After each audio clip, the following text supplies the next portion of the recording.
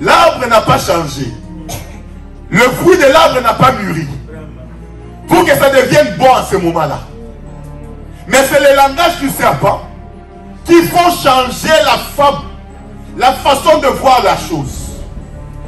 Tu peux être pauvre dans ta pauvreté, tu es heureux.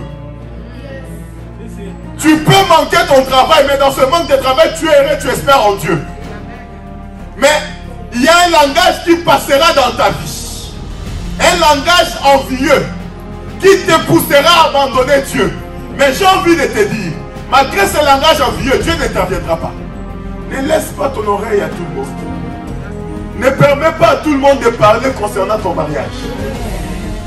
Ne permets pas à tout le monde de parler concernant ton travail. Il y a des langues de vipères. Lorsqu'ils ouvrent la bouche pour parler, ça peut changer ta vision. Te démotive pas par le langage d'une vipère. Si Dieu t'a dit quelque chose, reste sur la promesse. Ne doute pas. Dans l'astuce du diable, il ramène le doute. La Bible dit, la femme eut envie de ce qu'elle a regardé. J'ai envie de te dire en tant que chrétien, tu ne dois pas marcher avec les regards du monde. Parce que les regards spirituels que Dieu t'a donné suffisent à ta vie.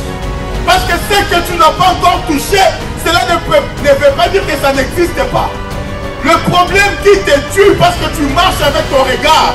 Or, avec ton regard, il y a un monde visible que tu vois, mais sauf qu'il y a un monde invisible que tu ne vois pas.